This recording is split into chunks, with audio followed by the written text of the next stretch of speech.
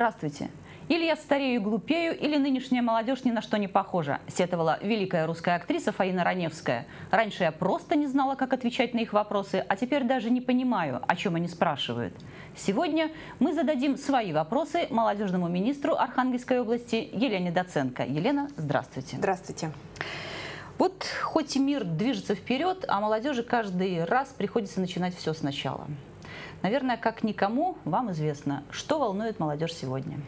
Действительно, молодые люди, э, вот только начинающие собственную яркую жизнь, самостоятельную жизнь, задаются теми же самыми вопросами, что и мы все. Э, Но я считаю себя также молодым, молодым человеком. Э, и мы понимаем, что есть проблемы с обеспечением жильем, с тем, чтобы найти достойную работу, получить достойный заработок то, что волнует всех нас, да, совершенно одинаковый спектр. Но самое главное, мы проводили опрос среди молодежи Архангельской области, по итогам опроса э, лидирует э, даже не вот эта бытовая часть проблем, но прежде всего возможность для самореализации, возможность найти собственное дело, я не обязательно говорю о бизнесе или о какой-то предпринимательской активности, э, найти себя. Э, самореализоваться. Да, самореализоваться, быть успешным, э, приносить пользу обществу. Вот когда э, в вопросах лидируют именно эти позиции, то возникает такое нормальное чувство гордости за нашу молодежь и вдохновение для дальнейшей работы. Ваше министерство по делам молодежи, спорту как раз и призвано как-то эти вопросы решать. Конечно, сложно решить вопрос, как молодежи самореализоваться, но все-таки что-то ведь предпринимаете. Да, наша основная задача разделить вот этот спектр проблем на конкретные задачи. Мы понимаем, что невозможно все сразу решить комплексно, учитывая и вопросы бюджета, и, в принципе, да, тот э, объем вопросов, которые необходимо решать. Но, э, в частности, могу сказать, что э, есть комплексная проблема, о которой можно поговорить, я готова поговорить и сегодня, по обеспечению жильем молодых семей, молодых специалистов. Это комплексная проблема, которую не решить реализацией одной программы, либо за счет какого-то одного решения. Потому что даже наша молодежь, и молодые семьи, молодые специалисты, незамужние, замужние, не женатые, они, э, ну, во-первых, потребность очень высокая, да, во-вторых, и проблемы совершенно разноплановые. Кто-то хочет собственный дом строить, кто-то хочет просто, чтобы ему отвели земельный участок для того, чтобы в перспективе построить собственный дом, как, например, настоящему мужчине. Э, кому-то нужно жилье здесь и сейчас э, и непременно там с определенным набором условий и так далее. Да? То есть, например, я хочу жить не в Архангельске, хочу жить в Коряжме, или хочу переехать из Мизени и жить в Приморском районе. То есть вот все эти нюансы, они складываются в такой очень сложный пазл, да, который нужно структурировать и, э, в частности, правительству Архангельской области и нашему министерству уже преобразовать в комплекс мер. Вот одну из этих программ, один инструмент, э, который не решает проблему комплексно, но занимает определенную нишу и решает ее да, вот с помощью программных вот таких действий. Это программа обеспечения жильем молодых семей, э, подпрограмма федеральной целевой программы жилища.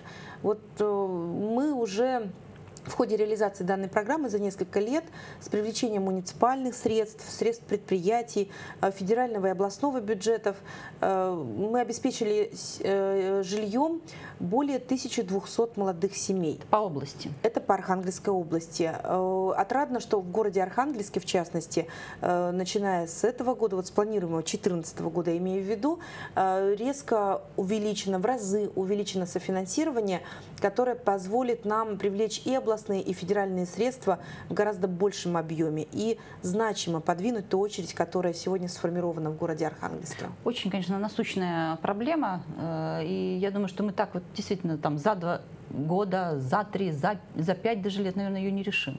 Э, и ну, потребности вот, у молодежи растут. Потребность, да. Вы знаете, угу. когда меня назначили на должность министра, естественно, первый вопрос был, а какова потребность? То есть какова глубина проблемы, да? Э, выяснилось, что даже по данной программе, которая предполагает значительное софинансирование и со стороны молодых семей, то есть это не социальная выплата, покрывающая полностью стоимость жилья, э, вот даже потребность по данной программе составляет составляет ну, в разы превышает то, что сегодня уже реализовано по социальным выплатам. Более 5 тысяч молодых семей. Изучить в целом всю потребность. Да? Во-первых, ее надо сразу же разделить на составляющие. Да? То есть для кого нужна земля, то, что я говорила раньше. Для кого нужна какая-то друг, другой вид поддержки. Для кого-то есть возможность взять кредит, но нужно правильно расценить э, процентную ставку и вести переговоры с банками, чтобы были специальные программы для молодых специалистов и для молодых семей. Общие потребности на сегодняшний день мы не знаем, но даже тот объем, который есть, он будет реализован только поступательно в течение нескольких лет. При этом молодых людей становится больше, э, молодых семей становится как больше. Как снежный ком получается. Да, да, получается так. Почему я говорю, что это очень сложная проблема? Э, и сегодня, в частности, правительство Архангельской области принимает ряд таких беспрецедентных шагов. Например, мы вместе с депутатским корпусом обсуждали Э, изменения областного законодательства по э, предоставлению э, участков для застройки. Там есть два нюанса. Во-первых, мы говорили о приоритетах для молодых семей – чтобы они им обладали при постановке в очередь. А во-вторых, э, мы же говорим, что это должны быть скомплектованные участки с инженерной инфраструктурой. Это очень дорогостоящая вещь, да? Вот, но необходимая. Без дороги и света, в принципе, дом свой не построить, не обустроить. Э, я уже не говорю о сопутствующей социальной инфраструктуре, которой тоже нужно думать в комплексе.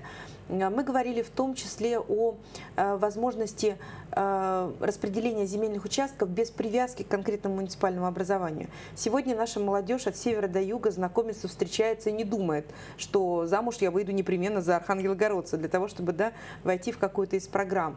Молодежь мыслит глобально, молодежь готова передвигаться, она очень мобильна, и семьи появляются ну, буквально из разных городов, из разных деревень, из разных поселений. Э, нужно снять эту привязку к муниципалитету для того, чтобы молодежь могла э, строиться там, где хочет найти свою работу, где хочет построить свой дом и выращивать своих детей. Вот, э, Лен, мы только о жилищной проблеме сколько угу. говорим, да? Наверное, да, да. таких, таких проблем нужно куда Конечно, вопросы да? самореализации. Вот я много езжу. даже, да? Вопрос от э, развития собственного дела. Здесь э, тоже есть один инструмент, который реализуется сегодня нашим министерством. В частности, речь идет о части программы по поддержке предпринимательства, э, развития молодежного предпринимательства. Здесь как-то все более позитивно, радужно. Ну, здесь, да? здесь вот, конечно, кажется. здесь мы ориентируемся У вас достаточно всего... много грантов, да? Можно да, у нас, в частности, по программе молодежное предпринимательство в этом году, благодаря реализации мероприятий программы, появилось 30 35 э, предприятий, маленьких организаций, которые создала молодежь. Э, более того, в части поддержки инициатив, то есть то, что исходит от самой молодежи, мы ежегодно не только сохраняем, но и наращиваем тот объем средств, который выделяется в качестве грантовой поддержки.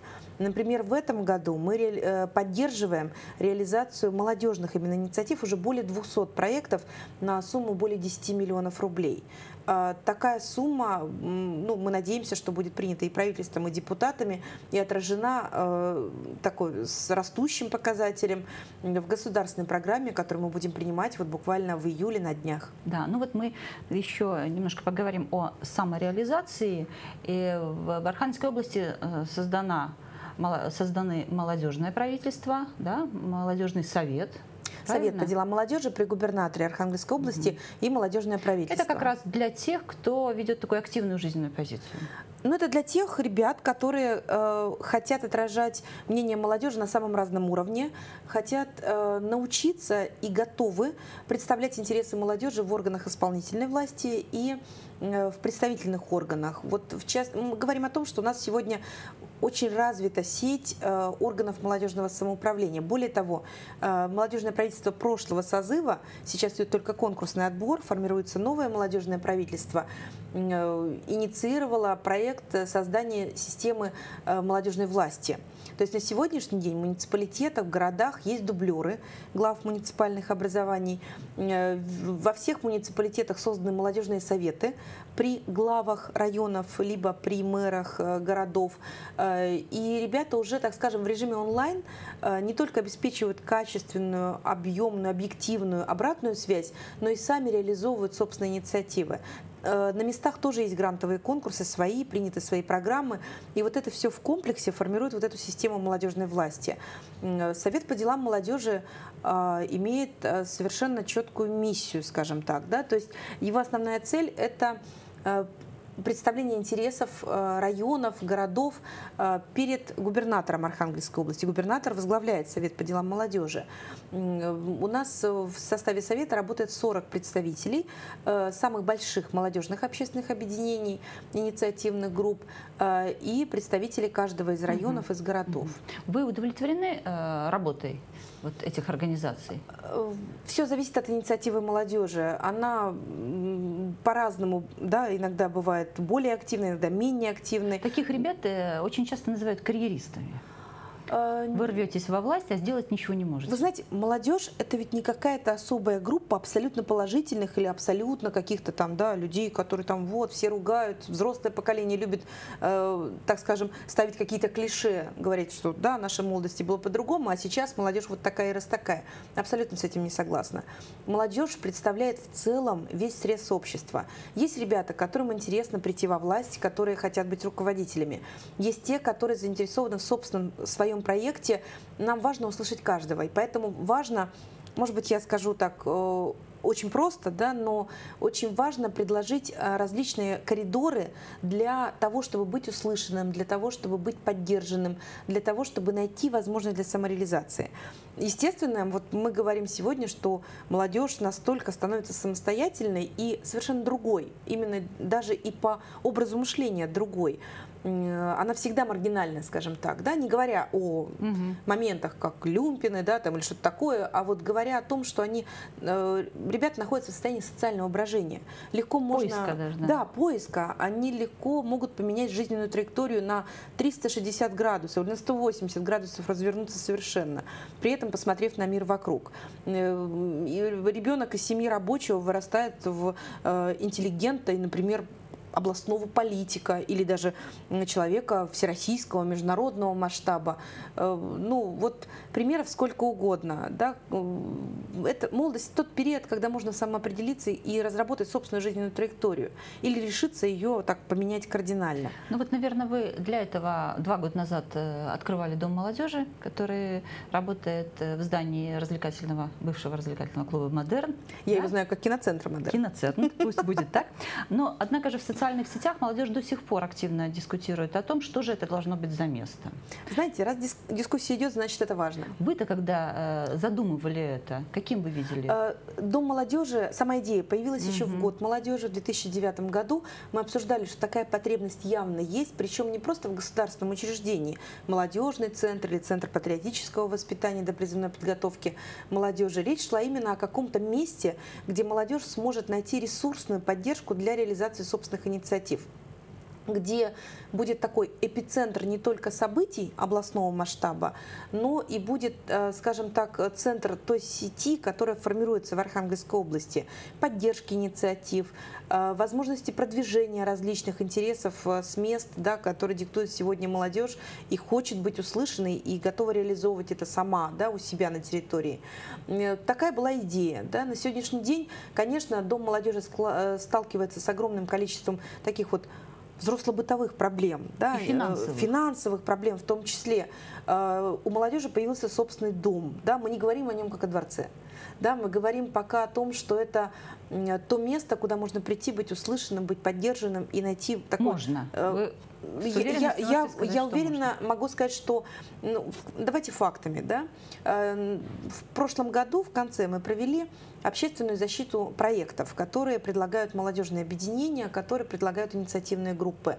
Заявок было море, да, вот областного масштаба. Мы не говорим о муниципальных, да, каких-то проектах или проектов э, микрорайонного значения, да. Э, заявок было очень много, более 50 самых серьезных проектов. Э, и в итоге сама молодежь отбирала те проекты областные, которые интересны на ближайшую перспективу, которые будут реализовываться. Там одно ключевое условие есть – это реализация в нескольких муниципальных образованиях. Мне кажется, что для старта это успешно. Для нормального поступательного развития нужно еще горы свернуть. То есть все только начинается? Все только начинается, да. Ну, я приглашаю вас в Дом молодежи, приходите, посмотрите. Э, там есть серьезные подвижки инфраструктурные. Э, я знаю, что у горожан очень много откликов таких проблемных, в том числе вызывает скейт-площадка, которая находится рядом с Домом молодежи. Но с другой стороны, вы посмотрите, сколько там ребят которые занимаются делом, которые совершенствуются, которые самореализуются. Это те же самые молодые, молодежные субкультуры, которые мы фактически ну, предложили им нормальное поле, легитимное поле для самореализации. Да, вот э, у нас ведь немало существует, кроме молодежных правительств и других общественных э, организаций, вот такой так называемой неформальной молодежи, да, которая, вот, как вы уже сказали, молодежь всегда маргинальна, которые ни под чей флаг становиться не хотят. Угу. Как вы с ними работаете? Они, э, наверное, не готовы приходить к вам?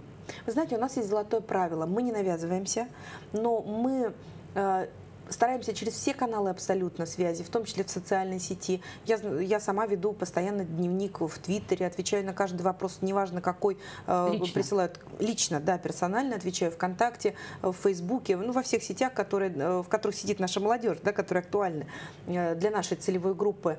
Так вот, э, э, могу сказать, что Э, вот Давайте еще раз вернемся к вопросу. Вы ее, пожалуйста, точно задайте, я вам сразу угу. скажу Хорошо. ответ. Ладно? Мы сейчас много говорим об активной жизненной позиции молодежи, да? Угу. но помимо э, участия молодежного правительства... А про тех, которые советов, не, хотят встать да, ни под какой да, флаг, да? Да, да. да я прошу прощения, просто, угу. знаете, роя, роятся мысли сразу. Э, ну, мы ребят не принуждаем, да, мы говорим о том, что мы работаем с любым молодым человеком, если у него есть конструктивная идея. А, равно как э, и с ребятами совершенно различных э, убеждений, интересов. А, ну, буквально любой проект, начиная от маленького и заканчивая глобальным каким-то, ну, просто огромным, масштабным, э, наша задача выступить такими а, операторами и э, проводниками, и, может быть, в какой-то мере наставниками, но не диктаторами ни в коем случае. Мы не инициируем ни одного э, самостоятельного э, областного проекта, который нам кажется будет актуален, будет обсуждаться, будет на виду. Мы ждем инициативу молодежи. На сегодняшний день таких инициатив очень много. Могу привести пример таких полярных вещей. Например, Мария Карель, ведущая, одна из таких интересных молодых исполнителей, музыкантов, вокалистка, иници... да. вокалистка да, э, известная в Архангельской области молодая девушка, которая э, предложила проект для ребят, которые да, вот буквально находятся в детских домах, в интернатах, им нужна дополнительная возможность для самореализации. Э, мы поддержали проект «Дети Поморья», да, который поддерживает талантливых ребят, оказавшихся в трудной жизненной ситуации. Или, например, 9 проектов поддержки молодежных субкультур, самых разных разных, батл, молодежный фестиваль, э, все что угодно, да, заканчивая в том числе э, посыл, который возник от наших специалистов, научите нас работать с такими ребятами, слышать каждого э, и учитывать, что мы все работаем на одну цель, ну, только вот, варианты Да, разные. еще каждому, наверное, надо понимать, что на блюдечке-то ничего не принесут. Конечно. Что Вы знаете, вот сумму денег, которую тебе выделят, э, пожалуйста, давай работай. Вот мы от такой, знаете, вот от, ну скажу некрасивым словом, халявы, да, от того, что дается вот так вот, и можно распорядиться этим, ну, как бы, ну, вдруг с неба упали деньги, uh-huh, давай как-нибудь uh-huh. потратим. Мы категорически от этого уходим. Более того, когда нам приносят уже защищенные проекты, приносят на подпись, на финансирование, мы детально разбираемся с каждой сметой, буквально. То есть, что будет от этого. Конечно, да, в рамках реализации данного гранта необходимо, например, приобрести фотоаппарат. Что мы получим в итоге, как он будет использоваться, э, смогут ли им пользоваться вся целевая группа проекта так, чтобы это было адекватно э, и сумме сумме адекватно заявленной идеи, это самое главное. Вот э, к этому мы относимся очень, так скажем, пристрастно, да, потому что вот... Вот, наверное, вот этому вы собираетесь учить на форуме «Команда-29», да? Да. Не только этому. Э, Пятый форум пройдет в июле. В чем фишка этого юбилейного форума? Э, каждый год вообще форум проходит совершенно по-разному. Я была руководителем первого форума, когда только появилась инициатива у Вельской молодежи. Нам нужно было преобразовать ее, сделать ее реальной. Честно скажу, первый форум напоминал такой хороший пионерский лагерь для талантливых детей и молодежи. Эм, последующие форумы имели совершенно разные цели и разный облик. Э, пятый юбилейный форум мы хотим, во-первых, пригласить и приглашаем всех выпускников, кто так или иначе не только прошел форум, но и связывает себя с большой молодой командой региона. Людей самых разных мыслей, намерений, но имеющих одну цель э, – развитие территории, позиционирование Архангельской области как такого места, где э, живут, творят, реализовываются единомышленники. Э, мы пятый форум э, разделили на две части. Первая часть будет образовательная для новичков. Э, у нас уже такое достаточно серьезное количество заявок. Всего там будет 250 мест. У нас уже да, с запасом и будет отбор для, для участия в первой смене. Самое главное событие, самое яркое событие в молодежной политике этого лета 19 июля. 19 июля состоится открытие юбилейной смены, где будет в ходе вот с 19 по 21, uh-huh, это выходные дни. 19 пятница, э, будет э, организована ярмарка проектов и идей, самое главное, фактов, которые а, принесла э, команда 29 для Архангельской области реализованных намерений, а не просто там, да, каких-то идей, презентация молодежи, какие мы замечательные. Это априори, мы и так яркие и замечательные. Теперь давайте покажем, что мы сделали.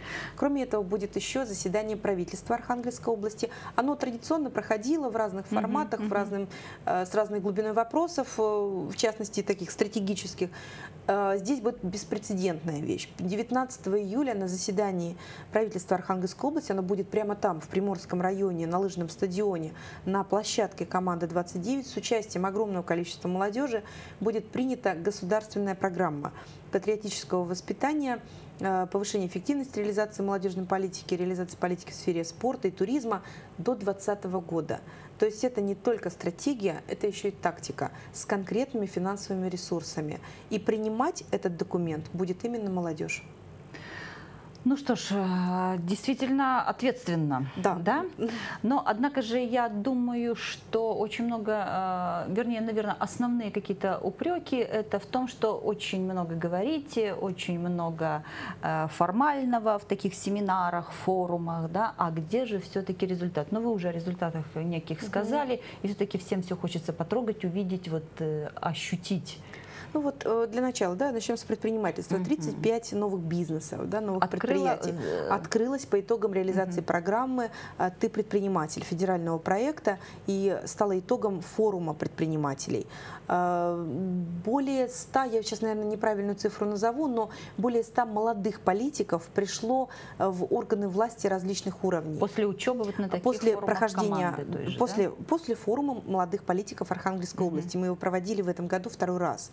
А, более того, и решения более зрелые принимаются этими политиками на местах, когда они пройдут всю подготовку, им расскажут, что и как, да, чем, какие у них есть полномочия, какие инструменты, что они могут сделать реально. Э, ну, могу сказать, что э, подтверждением является более 200 реализованных конкретных проектов молодежи на территориях. Мы видим, что э, когда самый главный момент – это самореализация, то мы видим, что происходит, да, что ребята находят себя, они приходят на предприятие. Мы видим, что у нас сегодня руководителями становится именно та молодежь, которая проходит программу подготовки на подобных форумах, на подобных семинарах. Э, система власти и подготовка молодых дублеров э, приносит конкретные плоды, да, где решения в муниципалитетах принимаются с опорой на молодежное мнение, с учетом тех людей, которые через несколько лет станут руководителями, в том числе руководителями регионального. То есть у вас сомнения нет, что такие форумы нужны, и семинары, и как команда это должно развиваться? Э, сомнений нет в том, что эта инициатива должна идти от самой молодежи, как и форум политиков. В этом году его реализовывал политический клуб «Точка зрения» а, и молодежный совет Приморского района. Инициатива должна исходить от самой молодежи и должна быть а, поддержана и продвинута, это несомненно. И, конечно, второй момент, он каждый раз проблемный, каждый раз мы до искр обсуждаем, как это должно быть, э, нужно уделять внимание содержанию. Форум а, сам по себе это просто слово. Мгм. Да? Очень важно, что люди из него извлекут. Даже если это будет мнением, что я никогда в жизни не буду социально активным, и мне это не нужно, это тоже важное понимание. Буду домохозяйкой. Э, Это тоже важно. Когда человек лучше всех в мире готовит борщ, или, по крайней мере, лучше всех знакомых, да, э, это очень ценно. И именно к этому человеку приходит, да, идти, э, приходит для того, чтобы буквально попробовать борща. Да?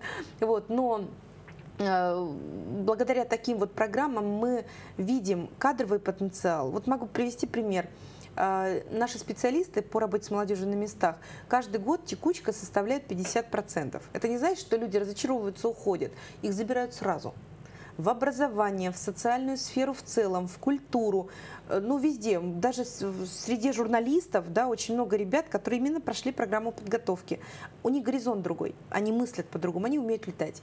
И поэтому таких людей сразу же забирают и Да, заставляют дай обоим. бог, чтобы у Да. нас область процветала Ну, именно вот такими кадрами. И э, в заключении программы три коротких вопроса. Назовите, на ваш взгляд, самое яркое и удачное событие в молодежной среде ну, за последний год-полтора. А, В нашем министерстве каждый день яркий, но не буду банальной. А, Для меня значимым событием а, стало вручение тысячного сертификата для молодой семьи северодвинцев по программе обеспечения жильем молодых семей. И, несомненно, команда 29, которая постоянно меняется. Ваши аргументы, почему молодежь не должна уезжать из, из нашего региона? Потому что мы дома, потому что нас любят здесь, и мы можем самореализоваться, даже невзирая на то, что кажется очень много проблем, препонов, когда, знаете, как для мотыльков э, на свет, да, вот манит столица, хочется уехать, когда есть ЕГЭ и база вакансий глобальная, которая дает тебе, делает тебя прозрачным и понятным даже где-нибудь в Краснодарском крае. Мы с вами дома, нас здесь любят, принимают такими, какими мы есть, и у нас столько проблем, что только мы с вами, да, молодые люди, можем превратить их в решаемые задачи. Вам, наверное, очень много задают вопросов на встречах. На какой вопрос у вас пока нет ответа? Э, Когда обращаются к моей семье, да, говорят, вот вы молодая мама, как вы все успеваете? Я не знаю. Я не знаю. Главное успевать. Главное, Пока успева- успеваете. Это покажет время. Моим малышам еще совсем мало лет, поэтому я очень надеюсь, что они вырастут достойными людьми и будут реализовывать себя именно у нас в Архангельской области. Это будет самый главный результат. Спасибо, Елена. Гость студии Елена Доценко по делам молодежи и спорта Архангельской области. К молодым людям нельзя относиться свысока. Очень может быть, что, повзрослев, они станут выдающимися мужами, писал древний мыслитель Конфуций. У молодежных дел нет точки, точки. Все только начинается. До свидания.